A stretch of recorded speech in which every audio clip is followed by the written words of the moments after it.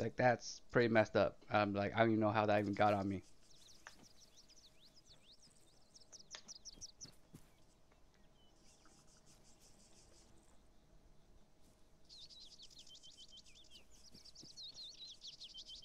Okay.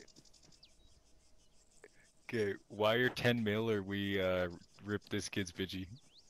You're a bitch. We want 10 mil in the account.